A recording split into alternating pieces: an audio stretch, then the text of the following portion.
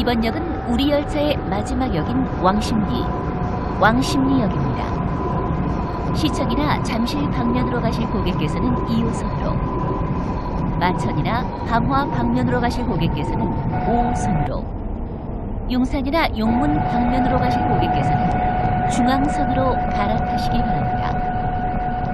왕십리역에선 경춘선 ITX 청춘 열차가 평일 6회 정차오니 많이 이용하시기 바라며 자세한 사항은 코레일 홈페이지 또는 스마트폰 앱 코레일 톡에서 확인하시기 바랍니다.